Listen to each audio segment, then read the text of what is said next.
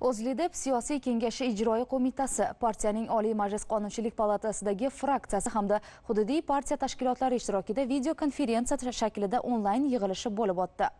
Tadbir prezident shavkat mirziyoyev raisligida 26 yanvar kuni o'zbekistonning 2022-2026 yillarga mo'ljallangan taraqqiyot strategiyasini belgilash hamda uni joriy yilda amalga oshirish masalalari muhokamasi yuzasidan bo'lib o'tgan video selektor yig'ilishida belgilab berilgan ustuvor vazifalar ijrosiga qaratildi.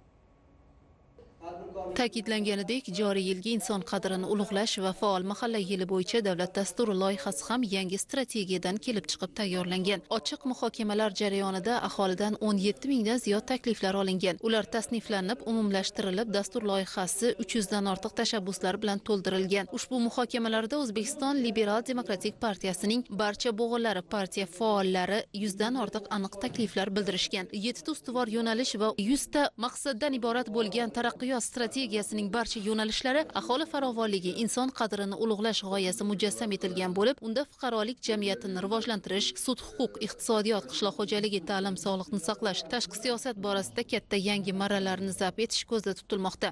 Hurmatli prezidentimizni saylovoldi dasturlaridagi eng muhim ustuvor vazifalar mana shu taraqqiyot strategiyasida o'zini aksini topdi. Muhokamalar jarayonida xalqimiz 17 mingga yaqin fikrlar takliflarni bildirdi mana shu taraqqiyot strategiyasi bo'yicha.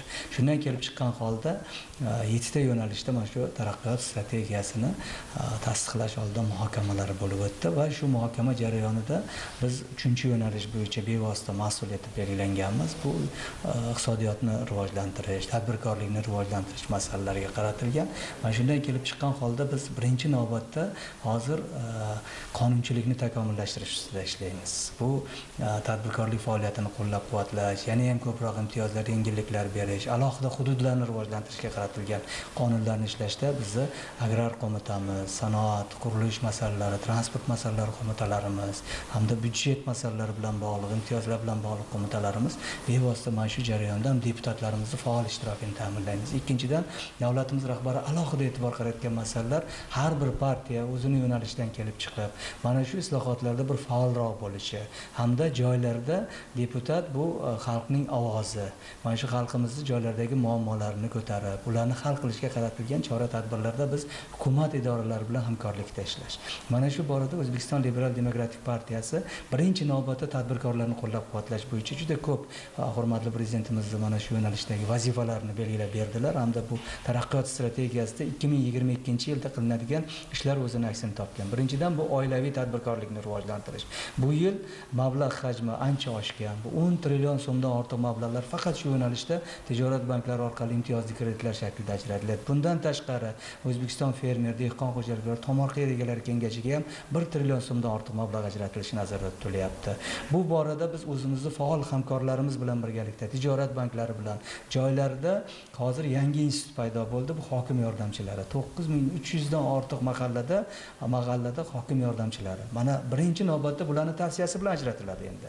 Biz mana shu jarayonda birinchidan tushuntirish targ'ibot ikkinchidan mana shu mablag'larni egasiga yetib borishi va kambag'allikni qisqartirish masalalari va oilaviy tadbirkorlikni rivojlantirish masalalarini o'zimizga bir ustuvor vazifa qilib barcha darajadagi deputatlarimiz bilan birgalikda ham nazorat tahlil faoliyatini ham ijro hokimiyati bilan hamkorlikda ishlarni tashkil qilamiz. Yana bir muhim yo'nalishlardan biri xalq deputatlari kengashlarining mahallalardagi muammolarni hal qilishdagi rolini oshirish, qabul qilingan qonunlarning amaliyotda so'zsiz va to'liq ijro etilishini ta'minlashda parlamentning ishtirokini kengaytirish vazifalari belgilab berilmoqda. Bu esa partiyaning qonunchilik palatasidagi va mahalliy kengashlardagi deputatlik guruhlari oldiga ham katta mas'uliyat qo'ymoqda. Partiya yig'ilishida taraqqiyot strategiyasida belgilangan ustuvor vazifalarni amalga oshirish borasida O'zbekiston Liberal demokratik partiyasining aniq chora-tadbirlari natijasi yo'l xaritasini ishlab chiqishga kelishib olindi.